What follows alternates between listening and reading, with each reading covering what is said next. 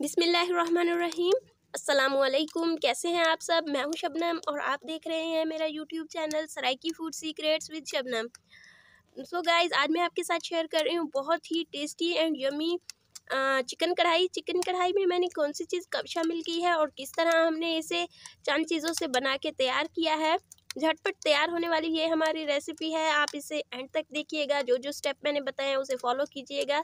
तो इन इसी तरह ही ये बन के तैयार होगी। ये जितनी देखने में अच्छी लग रही है टेस्ट इसका उससे भी ज़्यादा अच्छा है। तो आप इसे ज़रूर ट्राई कीजिएगा।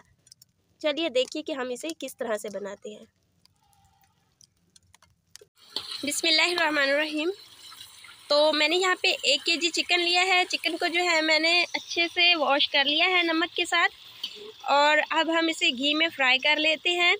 इससे फ़ायदा ये होगा कि ना हमारा एक तो टाइम बचेगा, इसका टेस्ट काफ़ी डिवेल्प होगा और यूँ लगेगा जैसे देसी मुर्ग तो आपने यही स्टॉप स्टेप फॉलो करने हैं ताकि आपको वही टेस्ट है जो मैं आपको बता रही हूँ। रहीम यहाँ पे मैंने दो अदद प्याज लिए हैं और प्याज को आपने इसी तरह स्लाइस में काट लेना है।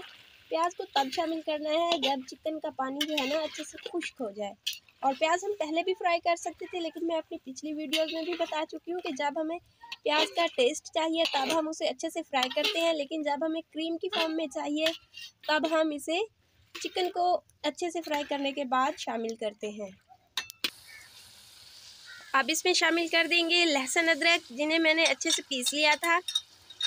और इनको तब तक फ्राई करेंगे जब तक कि इनका कच्चापन ख़त्म ना हो जाए और प्याज भी अच्छे से मिक्स ना हो जाए। बसमीम अब इसमें हम आधा चम्मच शामिल कर देंगे हल्दी और साथ ही इसमें शामिल कर देंगे स्पाइस।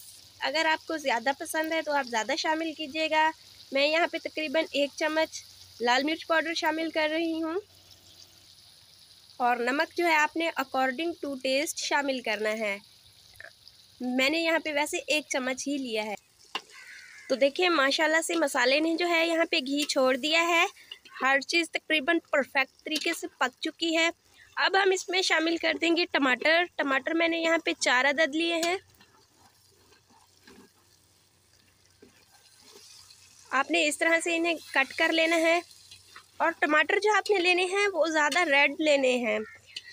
अच्छी तरह से पके हुए। मुझे तकरीबन वो वैसे वाले नहीं मिले तो मैं तो गुजारा कर रही हूँ। आपने जो है ना, बिल्कुल लाल और पके हुए टमाटर लेने हैं, ताकि हमारी इस कढ़ाई का जो टेस्ट है, वो ज़्यादा बेहतर बन सके।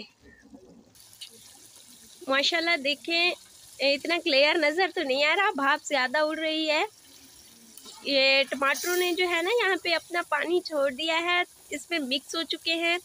अब इसको पकाने के लिए यही पानी बहुत है। जब ये टमाटर अच्छे से इसमें पक जाएँगे तो इसके बाद मैं आपको बताऊँगी कि अब हमने करना क्या है आगे।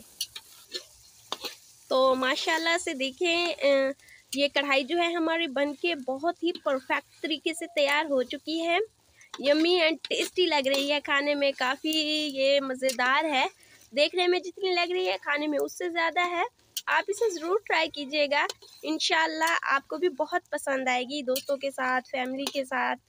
इसे शेयर कीजिएगा। तो मैं इसको, इसका फाइनल लुक आपको दिखाती हूँ। तो माशाल्लाह देखिए, चिकन कढ़ाई हमारी बन के बहुत ही मज़ेदार तैयार हो चुकी है। टेस्ट इसका बहुत ही अच्छा है। तो अगली वीडियो तक के लिए मुझे इजाज़त दीजिए। दुआओं में याद रखिएगा, अपना ख्याल रखिएगा। अल्लाह ताला आपकी दुनिया और आखरत के तमाम मामलों में आसानी फरमाए। अल्लाह हाफिज़।